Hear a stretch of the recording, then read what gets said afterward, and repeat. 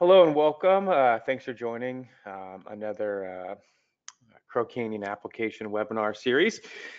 today, or my name is Ryan. Uh, today we're going to be covering our asset management application. This is kind of a uh, follow-up to uh, to the webinar we did uh, last month on the IT help desk. but you know, don't worry if you if you didn't get a chance to attend the IT help desk one. They're not um, they're not dependent upon each other. Our asset management application is definitely a standalone tool. Um, so we're going to be covering that in depth today. Um, and we do have, you know, just before we get into it uh, uh, too much, I just want to say like, we do have a couple more webinars coming up. I want to plug, make sure we get this plug out here before I get going. Uh, we have, um, you know, best practices with uh, Joel Olson, who's an MVP, coming up August 27th, as well as with our CEO Scott Restivo. Uh, James is going to be doing, or James Restivo is going to be doing a Nitro Studio form designer piece uh, webinar at the end of August. Uh, and then I have a service request management uh, webinar coming up in September. Now, we're going to touch, uh, I wanted to bring this up because we're going to be touching on the forms piece a little bit today in the asset management application. And assets kind of tie into our employee service portal with service request management, that webinar in September. So uh, just to keep that in the back of your mind as we move forward. Um, but with that being said, let's let's plow ahead and take a look at the asset management tool. So first thing I like to point out here is that Crow Canyon's colors are blue and white, therefore our demo site is blue and white. Now keep in mind this is SharePoint. Uh, these work on on-premise, Office 365, both the classic and the modern UI. Um, so if you have uh, certain site pages that you're using and you want to inherit that branding onto these sites, you're more than welcome to. We also have a branding tool as a part of our Nitro Studio, which is a good segue into Nitro Studio. All of our applications come out a certain way out of the box, asset tracking, IT help desk. We've also done, you know, a few webinars on onboarding and purchase requests. So these, these sites are templated and ready to be deployed into your SharePoint tenancy or farm. Uh, but what they do is they run on our Nitro Studio. And what Nitro Studio is, it's our forms, it's our uh, it's our set of tools that we use to create these applications. It's a forms piece, it's a workflow piece, it's a reporting tool. Basically everything that we need to create our application, we give to you as a piece of these sites. Why I like it is because it gives you um, the keys to the car in the sense that if you need to make any changes to the application, you have the full power to do so, right? You're not locked in, you're not pigeonholed to say like you have to do it this way, that way, or, or uh, adhere to our requirements, right? You kind of have free reign once it's deployed within your guys' SharePoint space. Okay, so our asset landing page. Tiles and dials web part right here at the top, again, is another example of the Nitro Studio. Uh, it just shows you active assets, software assets, vendors, and that's going to be kind of the underlying theme as we move through um, uh, move through the asset management application. Is that we have a few main lists that we circle around: assets, software assets, vendors, and contracts.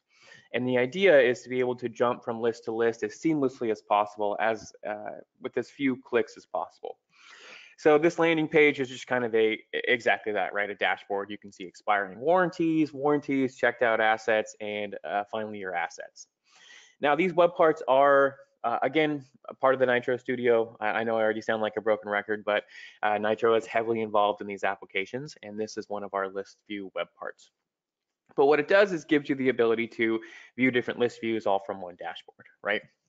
Um, so let's drill down into uh, an actual asset here. So, you know, those familiar, really familiar with SharePoint um, uh, knows that there's a few different ways to view a SharePoint list item, in this case, an asset, right? So there's the new form, there's the display form, and then there's the edit form. Well, in our display form, what we've done is we've given you some uh, uh, workflow abilities through what we call custom actions.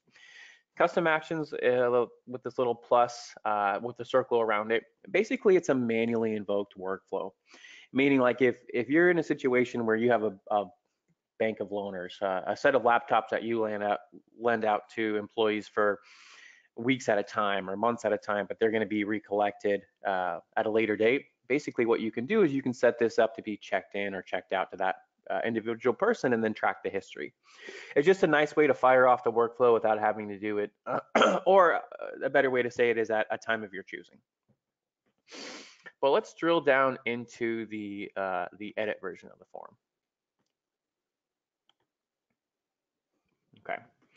So now as this loads, I'm just going to kind of talk about it while, while it's coming up here. But basically what we've done is we've made um, asset type right here, this column a lookup to a separate list. So what we can do with it being a lookup is have our um, uh, certain columns like title, uh, category, make, description, pull from that other list. So it helps you cut down on like duplicate data entry.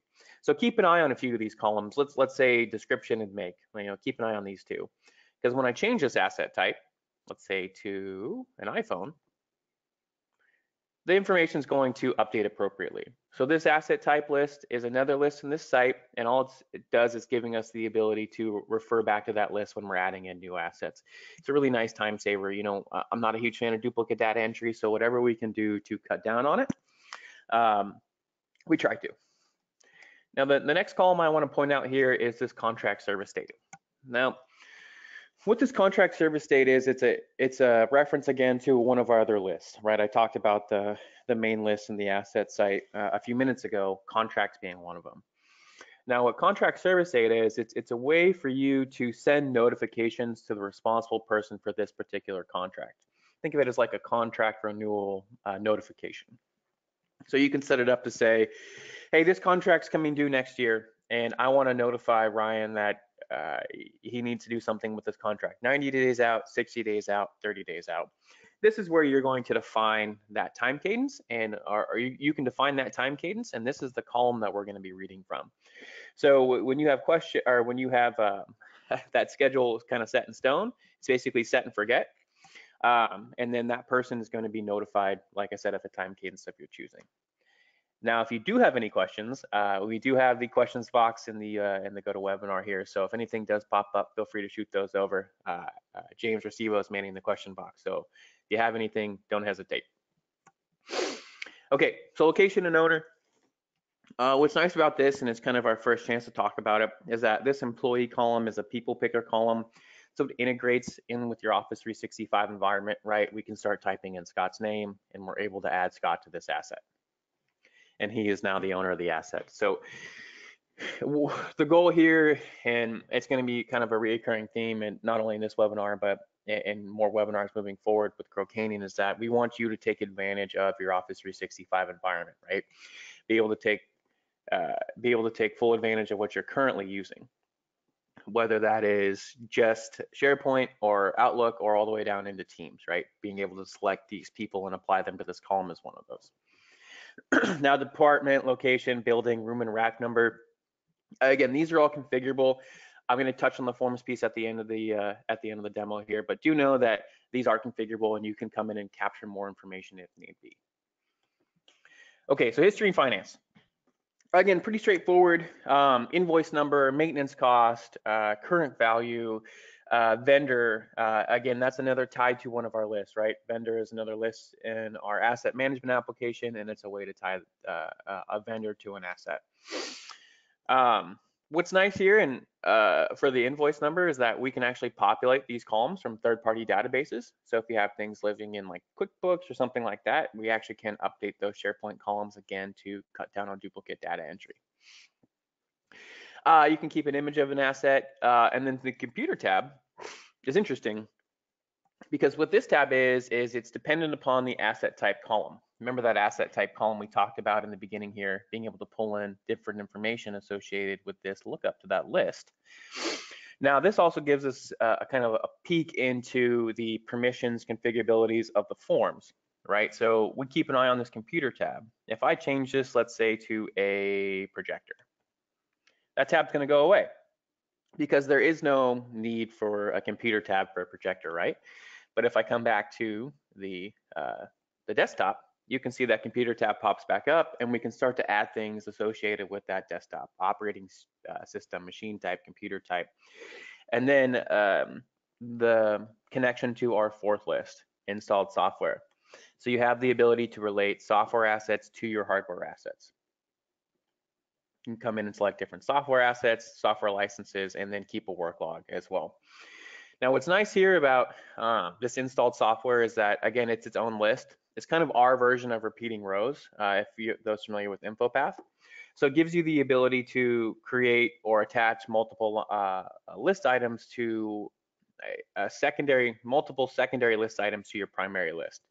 In this case, our primary list is assets. We're going in and we're pulling items from our secondary list, which is installed software, software assets, and we have the ability to create the connection between the two of them, all from one common interface. So we talked about check-in and check-out a little bit with the custom actions in, in the display form um, on this particular uh, asset, but you can also manage that from a tab here internally. Um, so it's like I said, you can check out an asset to a person for a determined amount of time. Uh, we've also seen other, you know, some of our customers really take advantage of this from like a notification perspective as well. Hey, your asset's overdue, it needs to be returned. And just uh, setting up using our workflow tool to remind uh, that person who the asset's assigned to that, hey, it needs to be, you know, it's either overdue or it needs to be returned at this date. Much like we did with the contract service date, you know, uh, where our custom action piece is a manually invoked workflow. We still have that automated workflow process, that set and forget workflow where we can notify, send emails, update items, create items based on triggers. Um, and this date column is one of them being able to notify that person that an asset's coming due uh, on their loaner. And then right here, you can see the history, who had it, how long they had it for, um, you know, etc. So this related items tab, it's kind of like a snapshot overview of the asset's life with the company. Now, I chose to show this version of the asset tool uh, because you can do things like relate tickets to an asset. You know, if you go with the ticketing system, you can automatically relate tickets to an asset. It could be manuals, it could be warranties, it could be that history we talked about, uh, change requests and problems, uh, contracts as well. So it's kind of everything pertaining to this asset can live within one uh, tab in this form. What's nice about this, going back to what I was talking about in the software assets, is that we're actually tying to separate lists here. So in this case, we have a contracts list. We're seeing that this Dell desktop is a part of a lease agreement. But what's cool here is that we can actually drill down into this contract and see the form specifically for this lease agreement. So instead of having to X out of the list that I'm in and going and finding that contract over here in my, my contracts list, what I can do is pull it up straight from the form that I'm in. And you can see like that responsible entity, it, it was me. Uh, the vendor that it's linked to, I'll get to in a second. But also all of the assets related to that particular lease agreement. And the same principle, the same process goes with the vendor. You know, I want to be able to navigate to the vendors list as easy as possible. So you click on the vendor. In this case, we're opening up in a new screen. I mean, we kind of give you the different options. We have a pop-up box for contracts. We did a new tab for vendors, but gives you the idea on the flexibility. And you can see things like vendor info. And then again, related items. So just like related items was a snapshot of the asset's life, you could see the vendor's life with, with your particular country or country, sorry, company, uh, whether that's contracts or you know assets that are specific with that vendor to to your guys' environment. And then again, if we click on this asset here at the top, we're right back where we started with that same asset that we opened up and started the demo with. So again, the idea here is let's cut down on clicks. Let's make the connections between um, all of our pertinent lists in this particular application to make it as easy as possible from to jump from one to the other. Um, and and that's what's nice here about our particular tool set. Now I'm going to kind of shift more towards the um, Nitro discussion. Um, what's cool about Nitro Studio is that it sits in an actual SharePoint site. Now we offer Nitro across your entire tenancy. Uh, that's that's kind of a separate conversation if you're interested in like a form creation or a workflow tool for your tenancy. We have a few webinars coming up, but you're more than welcome to reach out to us um, and, and, look at Nitro on a more uh, farm-wide or tenant-wide basis. But back to the point of, you know, Nitro being installed at a site level, what's cool is that when we create forms or when we create workflows, they're list specific. So they're not tied to any individual user kind of like um, those familiar with Power Apps. You know, if you log in, you create a Power App, it's under that user's name. Um, so if that person leaves the company or moves on, changes titles, you know, it, we, we're a little limited with what we can do from the design and flexibility of that Power App or that form. But what's cool about Nitro is that we're making the form directly in the site, we're making a change of the form directly into the list in the site that we're in. So if I pull up my forms tool here and I select assets, we're going to pull up the form designer specifically for the assets list and we can come in and make changes. Now, for those familiar with us uh, or those who've seen a webinar with us before, I'm going to sound a little bit like a broken record here, but the idea behind our forms tool is it's kind of like three levels. In, in my in my eyes, I see it as a three kind of a three three tiered process of what you can do with our form designer. The first is UI, look and feel. The second is like SharePoint standard uh, functionality, columns, permissions, excuse me. And then the third is developer heavy tools, develop the developer side. So the first piece, um, look and feel. Now we have a layouts and themes. You can change the colors on the tabs. You can change the um, colors of uh, the background color of each form. See if I can find something not obnoxious here. So you can make this form look and feel uh, specific to your to your company, right? We also have up here in the global settings, you can create your own themes. So you can change font colors, you can change uh, uh, label settings, column value settings, the colors, the size, the padding, etc. You can really take this and then apply it. You can save the theme and apply it to any form within the site that you're in. Now you can also do things like, uh, if you like the two column layout, paint it to a vertical. You can go two column and you can go all the way down to four column. So the form can that each individual tab can feel its own particular way. The same with adding tabs. We try to make this as easy as possible.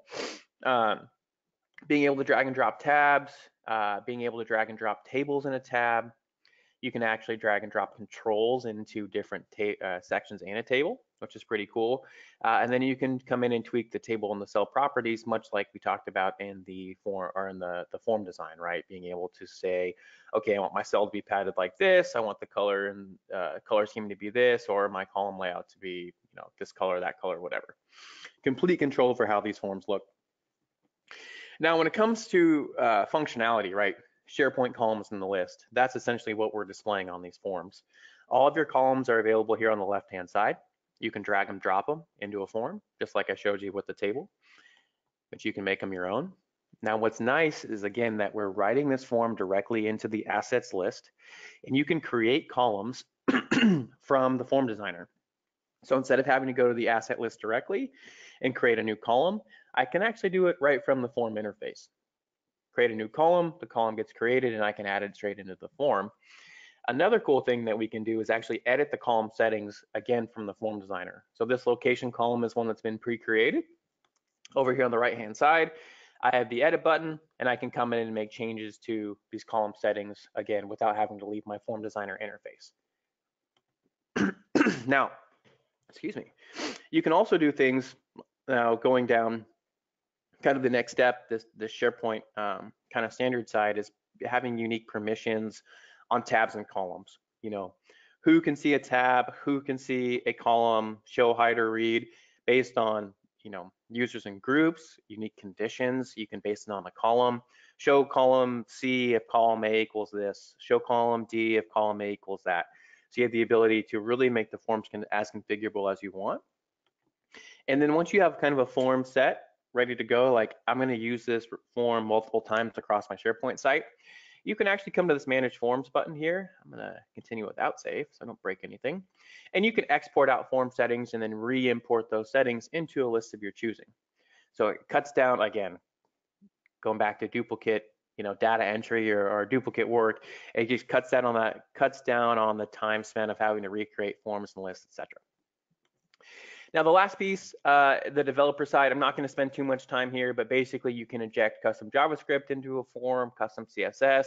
We also have the ability to populate SharePoint columns from external data columns um, and uh, uh, autofill user information. We kind of talked about being able to select people there, but um, the developer heavy side, if you want more information there, please reach out to us. Uh, we'd be happy to schedule a time and talk about those pieces in more depth.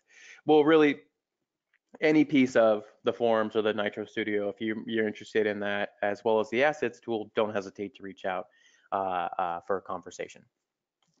Now, just wrapping, I just want to put a bow on this because we're coming up on the uh, the 20 minute mark, and I'd like to get everyone out of here by uh, by the bottom of the hour. Um, the application admin center where I navigated to the Nitro Studio is only available to the people who have appropriate permission. That goes for Nitro as well. So we want to make sure that uh, you know people are only going to see what they have access to. So this app admin center again is going to be for site admins or really whoever you team access, and that goes uh, uh, the same for the people who are doing the making changes in Nitro you know, and then you're not going to give that to your end users, maybe not even your technicians who are making changes to the assets. But uh, again, that that permission structure, who who you want to see what, is entirely up to you guys. Well, you know, that's all I have. Um, you know, if you're interested, like I said, if you're interested in learning more or doing a more personalized demo, please feel free to reach out to us. I'd be happy to. Um, I'd be happy to um, uh, to, to do a more personalized demo for you. I do see a question in here about uh, if this is for on-prem only, and definitely not. This is um, Office 365 as well as on-premise, and that is both in the classic and the modern UI. Um, for um, uh, Office 365 2016, I can't remember if 2019, I'm sorry, 2019 classic and modern. I can't remember if 2016 has the modern or not, but um, you know, all versions of SharePoint is the best way to describe it. 2013, 2016, 2019, SharePoint Online, Classic and Modern. Um, mobile compatible, um, you know, it, these all of these forms are um, mobile responsive, so they will scale down. Now, if you're using the modern UI in, in SharePoint, you can actually leverage the SharePoint app to pull these forms up. Well, you can pull these forms up through the through the SharePoint app um, whether you're using classic on-prem or modern or the modern UI, it's up to you. The modern UI will actually open up the form within the app. But like I said, these are browser-based and mobile responsive, so they will scale down as you can see here. Um, so from a mobile perspective, absolutely. Um, can you do a network connected asset discovery? We, you know, I'm going to say 90% of the time with our customers do we do um, some sort of asset discovery, whether it's SCCM or Lansweeper, but yeah, absolutely. Um, I'd say those two are the most common, but if you're using a network discovery tool, I think another customer of ours uses AirWatch. Um, there is an integration possible there, absolutely. Any other questions that are top of mind? Anything else that you can think of?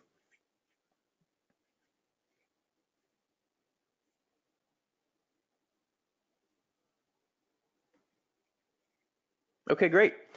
Well, I don't see anything filtering in. Um, again, guys, uh, thanks again for attending. I really appreciate it. Um, uh, we do have the, you know, I would really uh, encourage you to come to our best practices for overcoming the issues paralyzing your migration from InfoPath. Um, for those of you who uh, who are aware, maybe who those of you who are not aware, InfoPath is going away, being deprecated. Um, so Joel Olson, who's an MVP, and Scott Restivo, who's the CEO of Crow Canyon, are going to do a real nice, a really nice piece on, you know, migrations from InfoPath to whatever version of uh, SharePoint that you're on. And again, don't hesitate to to reach out to us if you have more questions, you would like to see a demo, and we do offer trials of these applications as well. I'd be happy to to talk to you in more detail what that looks like. Appreciate it. Well, thanks everyone for joining, and uh, we'll talk to you guys soon. Everyone have a nice day. Bye now.